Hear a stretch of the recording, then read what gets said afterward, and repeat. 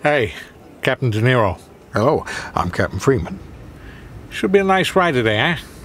Oh, I'm so excited I just can't hide it. Wonderful.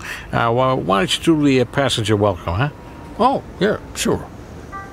Welcome aboard Flight 1853, service to Alaska. We're looking at a flight time of 5 hours and 58 minutes, or uh, 6 hours if you're an asshole. Weather in Alaska is uh, not bad. Cold, icy, pretty nice weather to shoot a moose in the face. You know, the last time I was in Alaska, I went to this strip club called Element.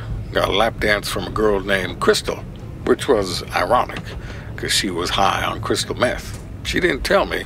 I could just tell because of the whole four teeth in the mouth thing. Anyway, she starts dancing on me, then stops, looks down, and says, Oh, I think you're bleeding. I said, No, that's ketchup from a fish sandwich I had earlier. And she said, You got a case of the ketchup pants. To this day, I don't know what the fuck she was talking about. After the dance, we went to a diner that served late night soup and salads. She said she wasn't hungry, but that she needed some gummy vitamins, and apparently was all out of tampons. I told her I had never purchased tampons before, I'd only stolen them. Next thing you know, we're sitting outside of Walgreens, waiting for the perfect moment to bust in and jack some ponds. As you can imagine, she got nervous. So I went in alone. It was much easier than I had anticipated. Turns out the security at Walgreens ain't looking for tampon thieves. When I got back to the car, she was gone. Haven't heard from her in five years. Until this morning. She texted me. Do you want to hear what it said?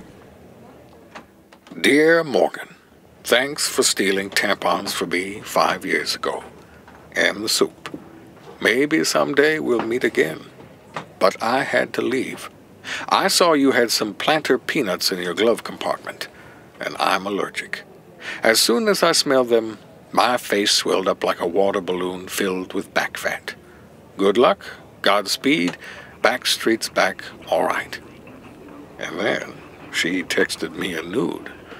It was a little blurred, but I think it was her clitoris. Well, that's enough out of me. Sit back, relax, and welcome aboard Flight 1853 to Alaska. you fucking kidding me with that story? Come on. Oh, I know. I made it all up, except for the tampons part. I did steal those. That's how I get my kicks. Some people play tennis or bungee jump. I steal tampons from Walgreens.